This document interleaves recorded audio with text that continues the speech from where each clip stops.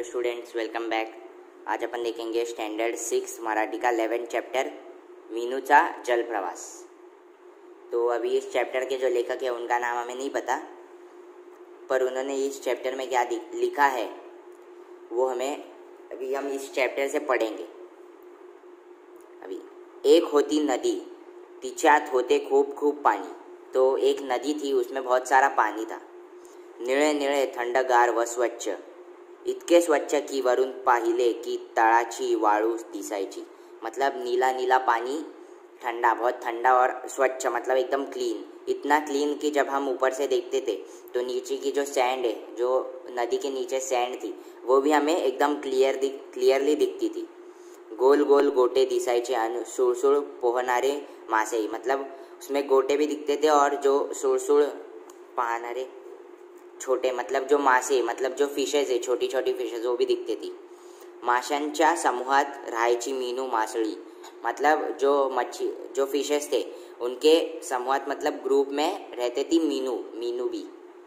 मीनू होती इवलिशी इवलिशी मतलब स्मॉल अगदी तुमच्या बोट, छोट्या हाताच्या छोट्या बोटा एवढी मतलब जो अपना एकदम हाथ उंगली हाथ का जो एकदम छोटा उंगली रहता है, उतनी थी वो मीनू। रुपेरी कल्याणची. इतर मासे तिचे खूप खूप लाड करायचे. जो बाकी मासे थे जो बाकी मच्छिया मछ फि, फिशेस मछली थी उस नदी में वो सब उसका बहुत लाड करते थे. मतलब उसको उसको बहुत ज़्यादा प्यार करते थे. तिला क्षणभर नजरे आड़ हो द्यायचे नाहीत. मतलब उसको थोड़ी देर के लिए भी अपनी नज़रों से दूर नहीं करते थे. मतलब उसकी उसको हमेशा ऐसे देखते ही रहते थे. वो किधर गुम ना हो जाए इसलिए. पण मीनूला नदीच्या खोलगट भागात राहायचा कंटाळा आला होता. पर जो मीनू थी अभी नदी नदी खोलगट मतलब जो नदी कैसे डीप होती है ना तो वो रह, वो वहाँ पे रह रह के कंटाल गई थी मतलब बोर हो गई थी मीनू. अभी आगे. ती आईला विचारायची, आई, एवढं पानी रोज कुठे जातं? मतलब वो उसकी माँ, उसकी जो आई है, उसकी जो माँ है, उसको पूछती थी कि रोज इतना जो नदी का पानी है, वो किधर जाता है? आई म्हणायची, मीनू, पुढे मोठा समुद्र आहे, त्यात जातं. तो उसकी माँ बोलती थी कि आगे बड़ा एक समुद्र है। समुद्र मतलब सी। उसमें जाता था। उसमें जाता है। आई, समुद्र केवड़ा असतो? तो बोलती है, सी कितनी बड़ी रहती है। अभी जो मीनू है, वो क्वेश्चन करती है। अभी उसकी माँ इसको आंसर करती है। मीनू विचारी तो यही। मला माहित नाही बाळ। तो उसकी माँ बोली, मुझे पता नहीं। अभी मीनू मधुन मधुन विचार करायची. मतलब मीनू जो है ना, बीच बीच में ऐसे बार बार ऐसे सोचती. विचार करायची मतलब सोचती थी खरेच केवड़ा असेल बरा समुद्र. मतलब ये जो सी है, वो कितना बड़ा रहेगा. रियल में. रोज एवढे पाणी त्यात जमते, म्हणजे खूपच मोठा असणार. आणि खूप खूप खोली. मतलब रोज जो भी नदी का जो फ्लो सब जो पानी है नदी से फ्लो होके, वो रोज समुद्र में जाता है तो बहुत बड़ा ही रहेगा.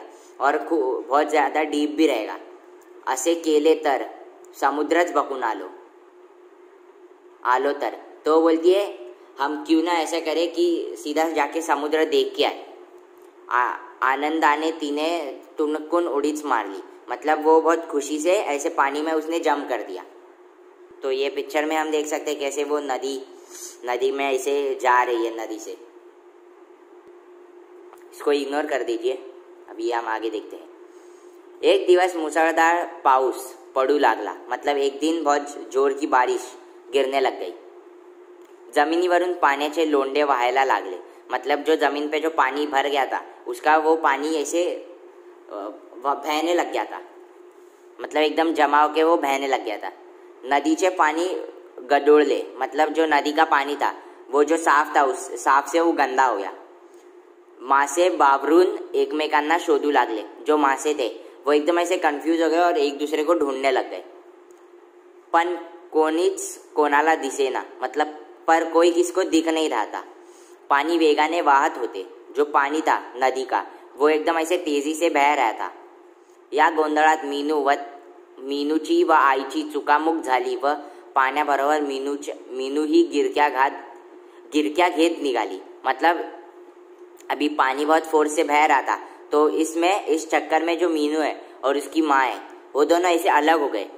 झाले व पाण्याबरोबर और जो पानी एकदम फोर्स से आ रहा था, उसके साथ जो मीनू थी, वो भी ऐसे चली गई पानी में बहते बहते खूब वेळ ती अशीच पोहत होती मतलब बहुत देर बहुत देर तक वो ऐसे ही तैर रही थी। मीनू ने मीनू ने हड़ूच तोंड उगड़ले फिर मीनू अपना जो मुँह रहता है वो एकदम धीरे से ओपन कर दिए। थू थू, सगड़े खाड़े, खारट पानी। अभी वो समुद्र में आ गई थी तो समुद्र समुद्र का पानी कैसे? खट, ये सॉल्ट सॉल्टी वाटर रहता है तो वही। आया। वो ऐसे बोलती है म्हणजे समुद्र समुद्र म्हणतात तो आला की। बापरे केवढा लांबपर्यंत पसरला है तो बोलती है, जो समुद्र है, जिसको हम समुद्र कहते हैं, वो आ गया। कितना दूर तक ऐसा फैला हुआ है? ऐसे वो बोलती है। नज़र सुद्धा पोचत नाही, इतक्या लांब। मतलब जहाँ पे हमारी नज़र भी नहीं पहुँचती है, उतना दूर। मतलब मीनू मीनू अपनी इससे बोलती है कि मेरी नज़र भी नहीं पहुँच रही और उतना दूर है वो। चला थोडीशी चक्कर मारून परत जावे, झाले। मतलब बोलती है थोड़ी सी ऐसे मैं, समुद्र में घूम के फिर से जाती हूँ। मीनू हड़ू हड़ू पुढे निकाली मतलब जो मीनू थी, वो धीरे धीरे से आगे निकल गई। पाण्यात एका बाजूला लांबपर्यंत खडकांच्या रांगा होत्या. अभी हा तो पाण्यात एका बाजूला लांबपर्यंत खडकांच्या रांगा होत्या. मतलब पानी के एक साइड में ऐसे बहुत सारे स्टोन्स थे. लाइन लाइन में ऐसे लगे हुए बहुत सारे स्टोन्स थे. त्यातील एका खडकावर फुलेची फुले फुलेच फुले होती. मतलब जैसे कोई पत्थर को ऐसे पानी लगता है बार बार उसको और सनलाइट भी मिलती है ऐसी ठीक ठाक तो उसमें कैसे ऐसे छोटे छोटे फ्लावर्स आ जाते? तो वही। नदीच्या पाण्यावर तरंगायची तशी। मतलब जो नदी का पानी है, उसमें कैसे वो तैरती थी? तरंग मतलब ऐसे ऊपर पे फ्लोट करना। मीन, मीनूला गम्मत वाटली। मतलब मीनू को वो फन लगा। ती हळूहळू पुढे निघाली। मतलब वो धीरे धीरे आगे निकली। लाल गुलाबी अंजेरी फुले किती छान छान रंग होते त्यांचे. मतलब ये सबसे फूल के कलर्स है वो कितने छान छान मतलब कितने ब्यूटीफुल सुंदर है वो रंग। अभी आगे। इतक्यात तिची एक एका विचित्र माशी शी माशाशी टक्कर झाली. मतलब अभी वो जैसे ऐसे घूम रही थी वो समुद्र में तो उतने में उसकी एक टक, टक्कर हो गई एक अजीब से मतलब विचित्र मतलब अजीब से माशाशी मतलब एक अजीब सी फ़िश से उसकी टक्कर हो गई। त्याचे तोंड घोड्यासारखे होते व पोटाला पिशवी होती मतलब जो माशी थी, जो वो फ़िश थी, उसका मुँह कैसे था? घोड़े जैसा। और उसकी जो पोट था, जो मतलब पेट होता है, उसको एक पिशवी मतलब ऐसी थैली थी। त्यात छोटी छोटी पिल्ले बसलेली होती तो उस, उसमें छोटी छोटी पिल्ले मतलब जो ये अजीब सी माशी मतलब जो फ़िश थी, उसके जो बच्चे थे, वो थैली में थे ये। मीनूला क्षण भर हंसू चाले मतलब जो मीनू थी, उसको ये देख के ऐसे हंसने को आ गया। कौन तुम्ही? तिने विचार ले। तो जो मीनू है, वो माशी जो फ़िश है, उसको पूछती है, तू कौन है? कौन तुम्ही? पण तो पिवळा मासा काहीच न बोलता हळूहळू पुढे गेला. पर भी जब इसने पूछा, तू कौन है? तो लेकिन वो जो मासा था, वो कुछ बोला नहीं, वो अपना धीरे धीरे आगे चला गया। अभी आगे। अभी जब वो उसको जो जो मीनू रहती है, वो उस जो माछली रहती है, जो फ़िश रहती है, उसको क्वेश्चन करती है तो आंसर ही नहीं देता।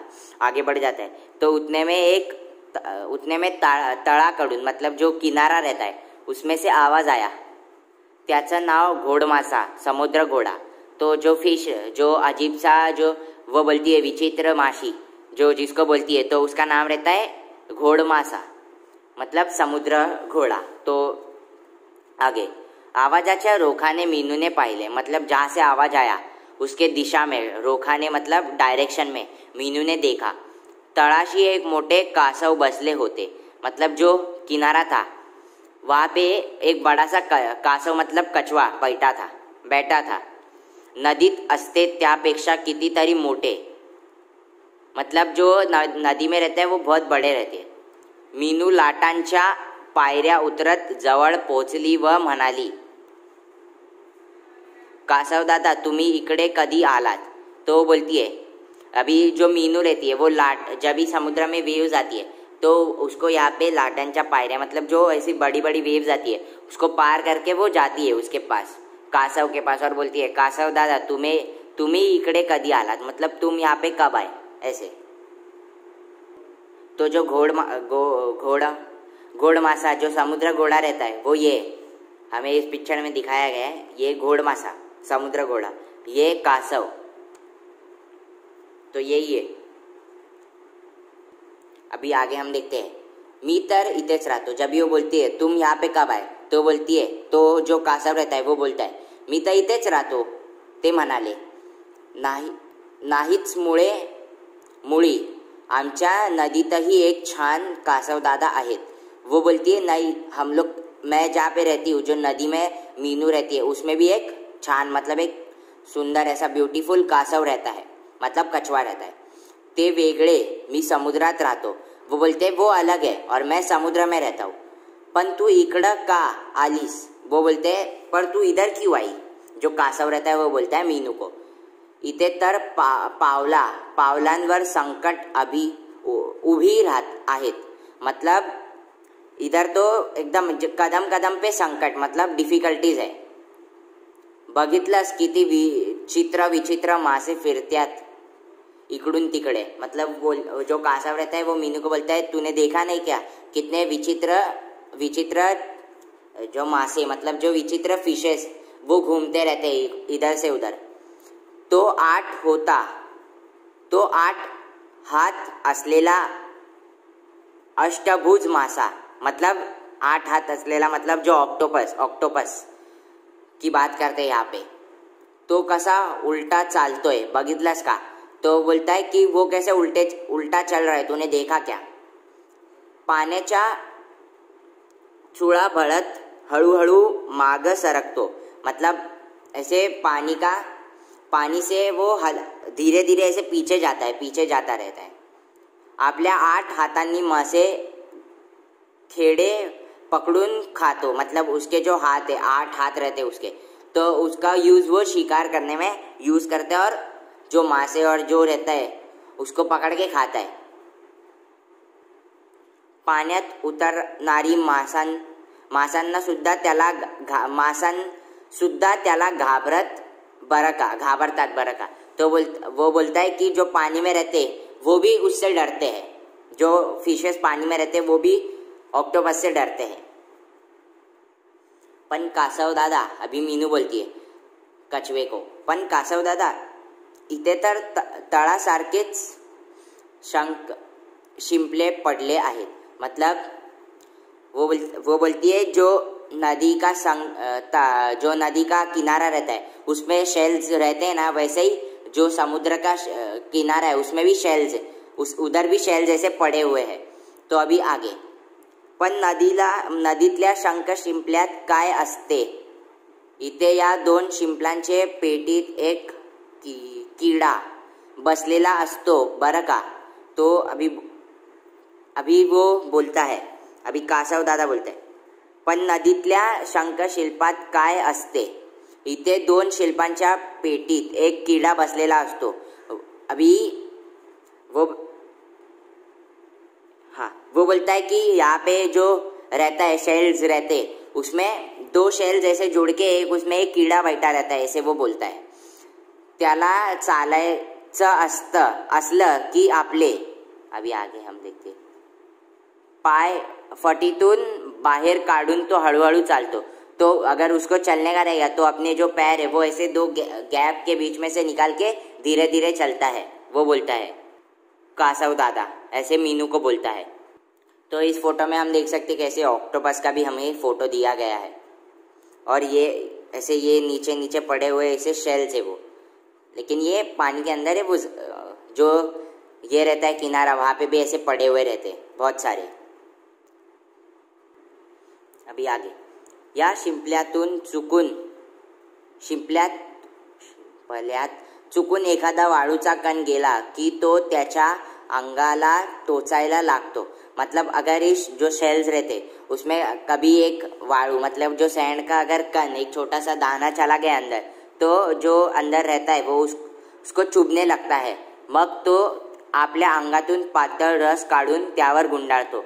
फिर, पर जब भी उसको वो चुभने लगता है तो जो वो अंदर शेल के अंदर जो एक कीड़ा रहता है, वो अपने बॉडी में से रस निकालता है। मतलब एक पतला सा कोई रस निकालता है और वो उस पर ऐसे गुंडाड़ता है। मतलब उस पर ऐसे चारों ओर ये कर देता है स्प्रेड कर देता है।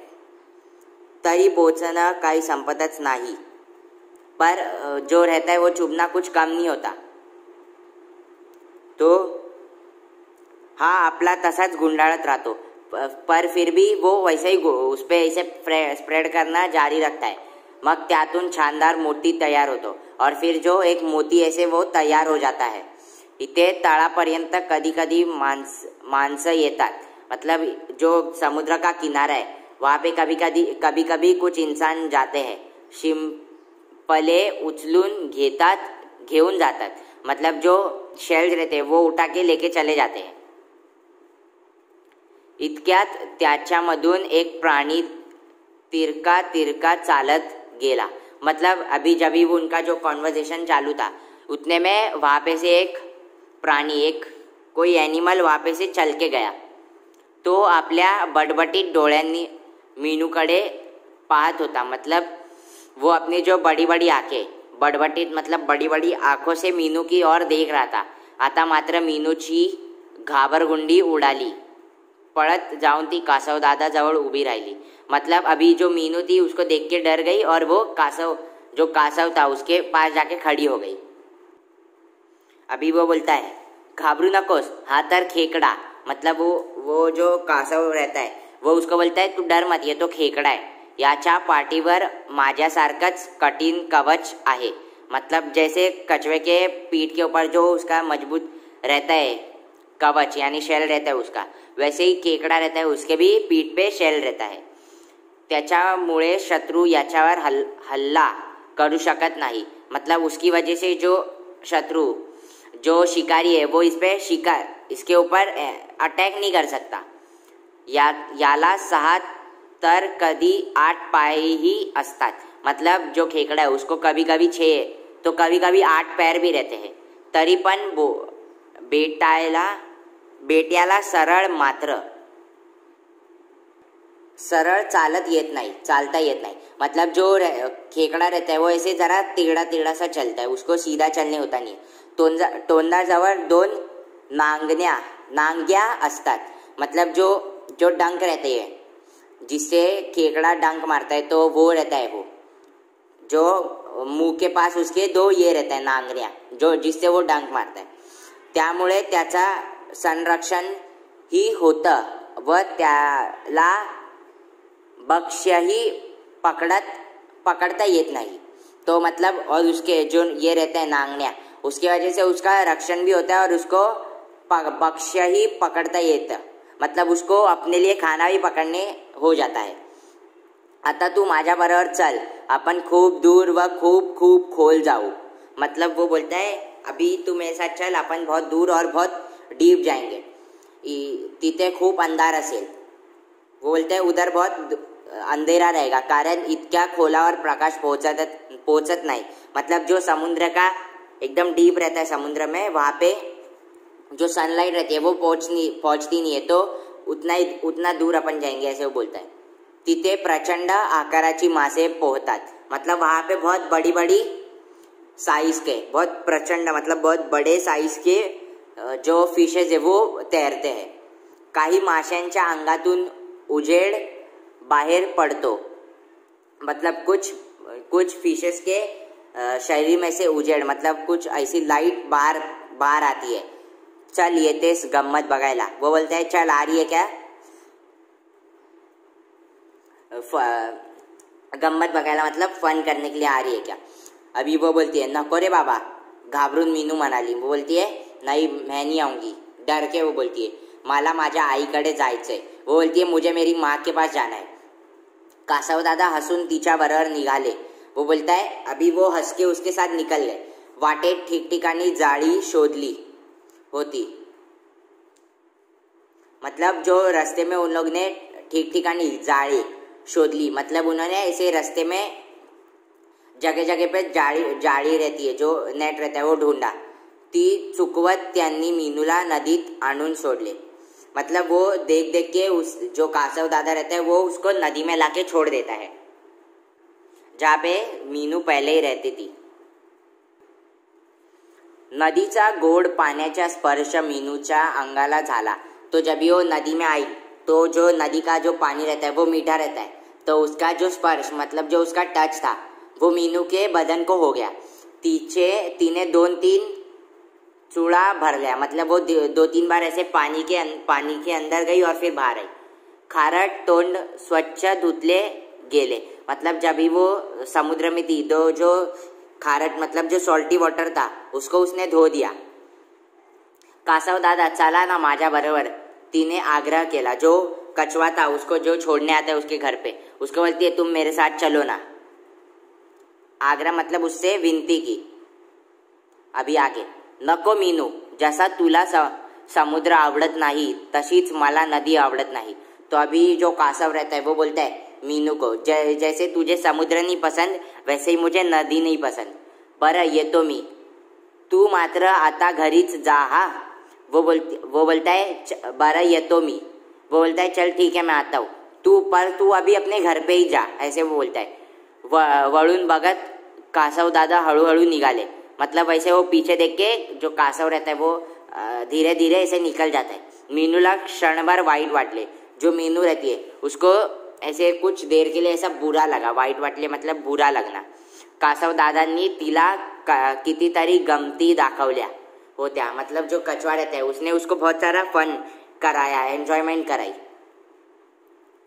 न, त्या कधी एखादा आईला सांगेल, असे तिला झाले होते।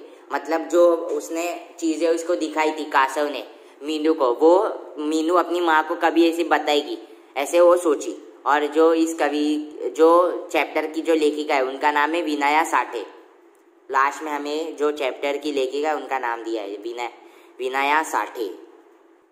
तो यहाँ पे हमारा ये चैप्टर ख़त्म हुआ। तो अगर आपको ये वीडियो अच्छा लगा हो तो प्लीज़ वीडियो को लाइक करें चैनल को सब्सक्राइब करें। कमेंट